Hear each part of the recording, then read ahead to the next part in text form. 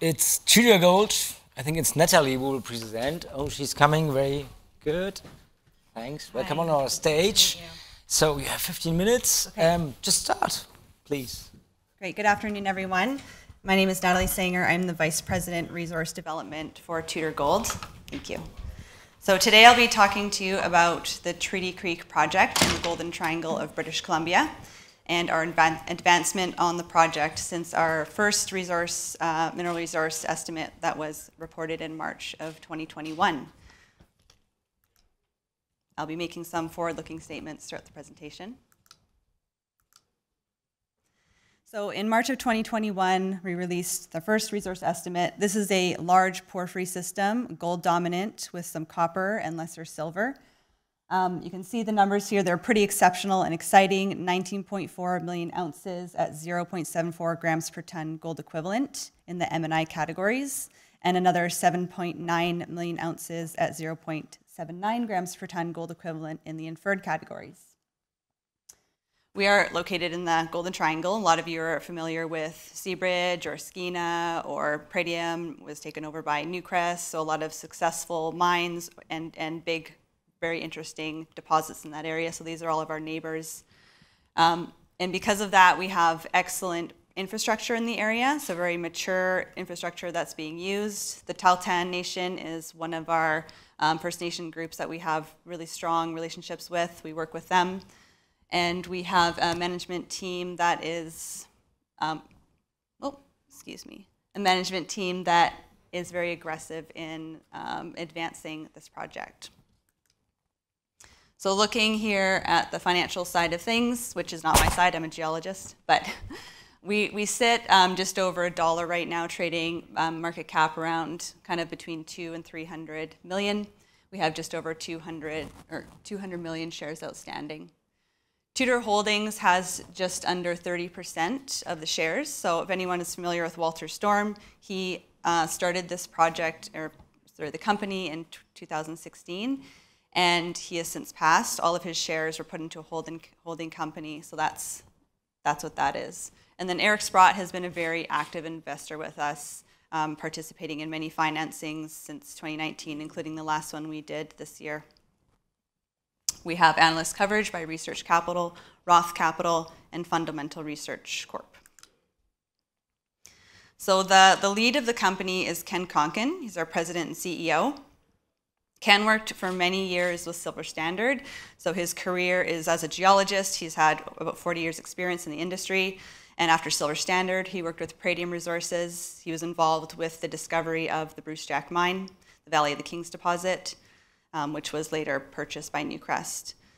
And then I've worked alongside Ken since 2008. Um, I've done all of my years in the Golden Triangle in a very small area, so I'm very familiar with the rocks and familiar with um, developing projects into becoming successful mines.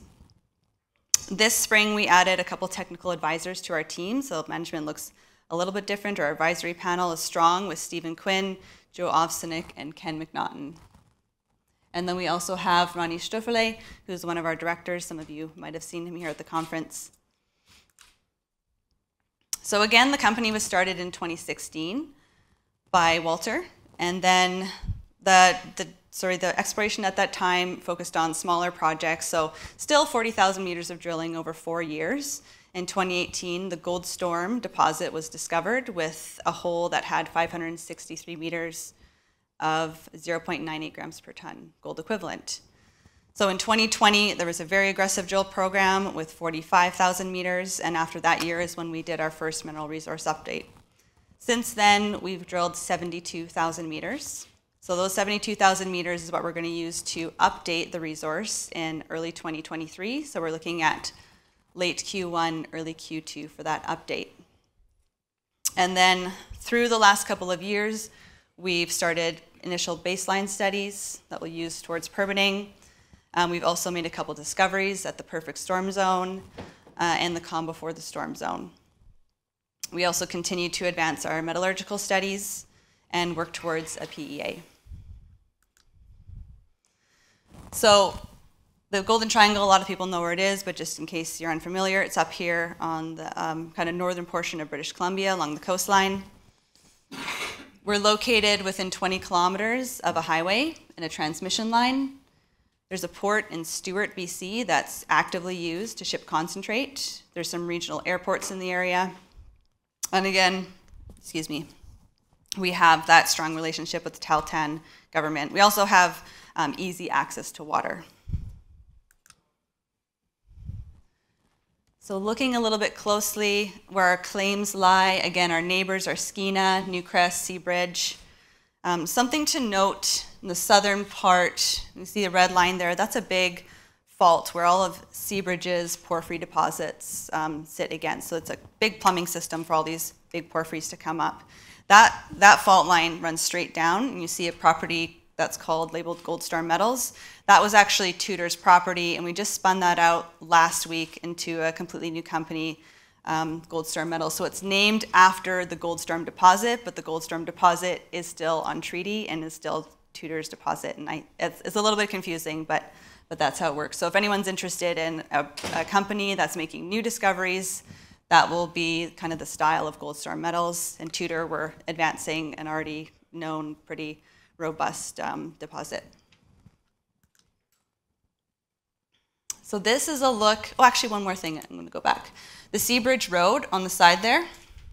So this was a proposed road, it's a permitted road by Seabridge. Seabridge is advancing their project and de-risking it as well. They're about halfway, excuse me, about halfway done building that road.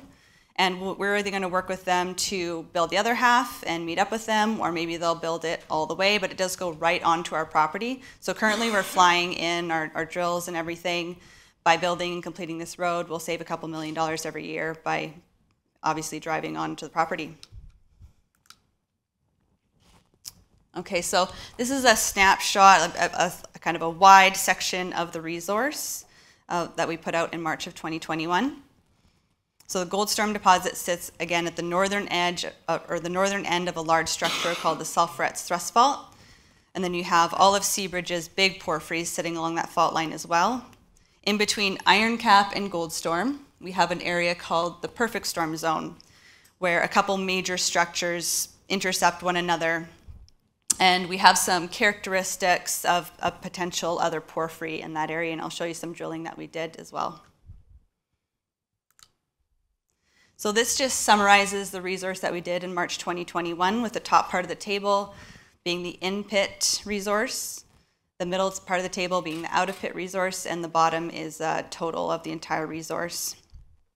So you can see that the gold, if you added measured and indicated and inferred, it's just over 24 million ounces. So it is a gold dominant system. When we're talking about gold equivalent, it's often confusing to understand what metals, how much of them. So it is gold dominant, and that is a little bit different from Seabridge's more copper dominant systems. We do still have 130 million ounces of silver and over 1.4 billion pounds of copper. And what we expect to see from the next resource update is um, a significant increase in the overall all copper amount. Um, the resource itself will probably be similar in overall ounces of gold equivalent, and the overall grade, we're going to push up. The global grade of the entire resource in all categories is 0.76, and we'd like to push that up towards um, one gram per ton. So this is just a plan view of the area, Goldstorm in the center, and then a few other areas of interest around here. And then this is a nice slide kind of to summarize the characteristics of the deposit. So the blue zone right in the middle is where all of our copper is. So we have gold everywhere. That's, this map is gold equivalent, so you can't really see the copper here. But if you look at the numbers in the blue area to the side, so hole GS 21113, 1.44 grams per ton gold equivalent over 405 meters. And you can see the copper number is quite significant there with 0.62% copper. So the exploration program from 2022 looked at stepping out of the 2021 resource area quite significantly. The yellow line on the map on the map on the left-hand side shows the 2021 resource line.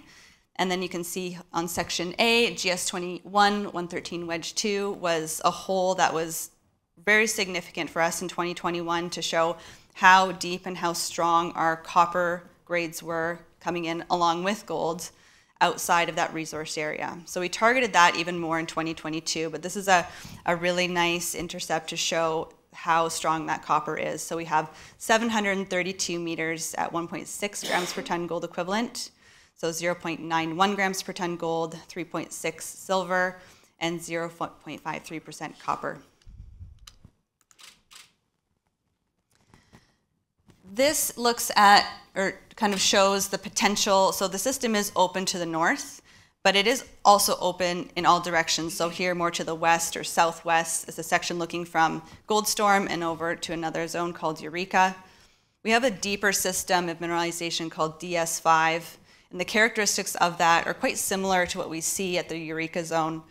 So our our geological concept here is that there could be a potential for this mineralization to be linked, and that's yet, yet to be drill tested. So on top of all of these really consistent kind of lower grades, but over a huge area, we have higher grades that punctuate the system. So we do see epithermal veins with visible gold sometimes. Uh, an example of that is GS22 134 at the top right hand side, 25.5 meters of 9.96 grams per ton gold equivalent. And that was very surprising to us. So we were stepping out with that hole um, about 450 meters from when that one was drilled. There was nothing in between that and then the closest hole, and we intercepted that deep in our porphyry system. So we do expect to find more of these things as we drill around. Right now, some of the spacing is quite large, like two, 300 meters between holes, but we are consistently seeing these higher grades punctuate the system, and that might add up in the end. So I very briefly mentioned Perfect Storm. This is a zone that sits south of Goldstorm and Copper Belle. And I said before, this is where we think the characteristics look similar to another porphyry or on the edge of a porphyry, just peripheral to it.